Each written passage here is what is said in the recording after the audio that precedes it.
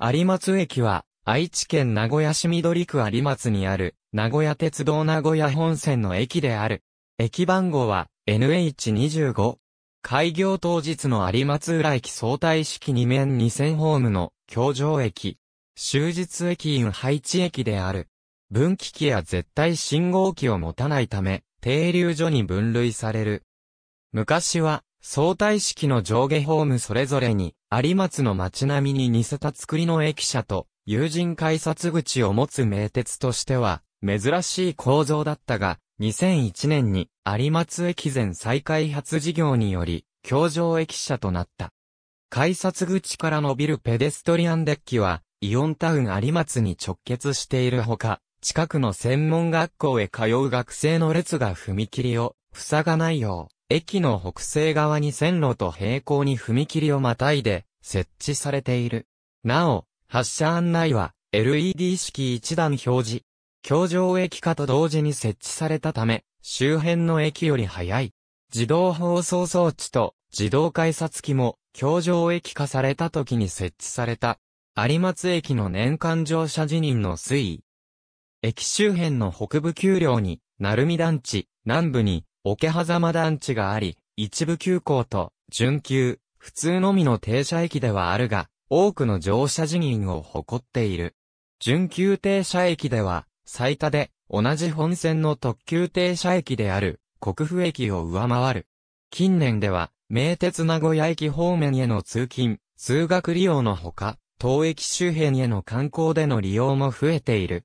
2011年3月26日ダイヤ改正後、平日ピルマ時間帯の準急が廃止され、その救済として、二つ入り駅とともに、名古屋方面、東岡崎方面ともに一部の急行が停車するようになった。さらに、同年12月17日ダイヤ改正でも、当駅に停車する急行が一本増加している。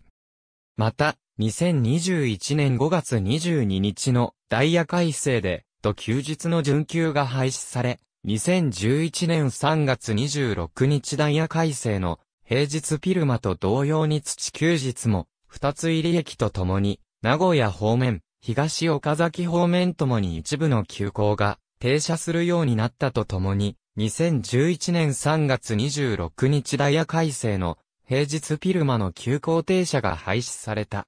毎年6月第1土曜、日曜に東駅前の旧、東海道沿いを中心に開催される、有松絞り祭りの期間中は、9時台から15時台の急行が全便臨時停車する。駅構内にある周辺案内板あたり駅周辺が名古屋市に編入され緑区となる前は、下郡、有松町ではなく、愛知郡鳴海町に属していた。その後は長年、緑区鳴海町わざ有松浦という所在地名であったが、2009年11月7日に町名が変更され、旧有松町の区域も含めて、緑区、有松となった。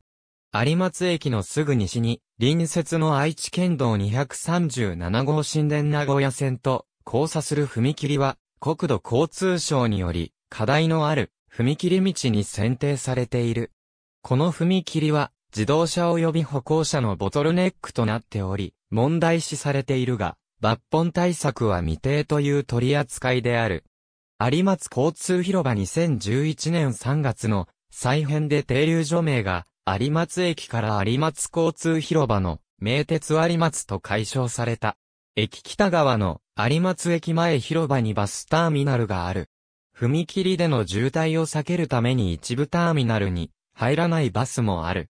かつては、市バスの運行はなく名鉄バスが、鳴海団地及び JR オフ駅、刈谷駅南口、地流駅方面へ運行されていた。